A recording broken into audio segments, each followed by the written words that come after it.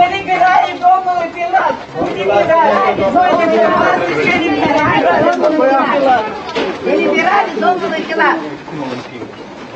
Мы конечно.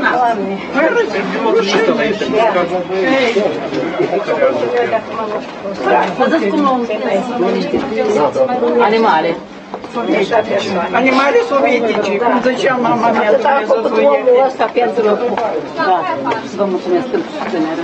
Da. privațiune de libertate. Ați mai reușit să vorbiți cu domnul Filat? Ați aflat de ce îi se interzice asupra? Ceea ce s-a întâmplat la ieșirea domnului Filat trece orice măsură. Deci mascații ne împingeau ca pe niște brute, nu mă tem să spun această frază, iar pe domnul Filat l-au împins de urmă că mai era să cadă pe scările cele, fără măcar să încercăm să, să ne uităm în ochii lui. Eu cred că este un caz ieșit de comun într-o țară unde se pretinde a fi o țară democratică, unde vor reforme în justiție, se comportă așa cu cetățenii, parcă se comportă cu niște, nu știu cum, care aș găsi calificativ să spun. E strigător la, ce, la cer ceea ce se întâmplă.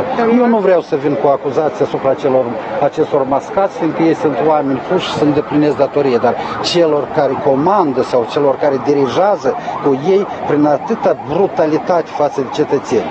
Eu, ca deputat și colegii mei, avem tot dreptul de a intra în orice instituție publică, ne permite legislație, pe când ei ne împingeau încă o dată din urmă să le facem loc, să ne astupic, să nu, să nu privim la un om care este acuzat încă o dată pe nedrept și acest proces Dar este de un ce ar proces face politic. asta? De ce ar face aceasta? Fiindcă ei totuși se tem de revolta maselor, în primul rând.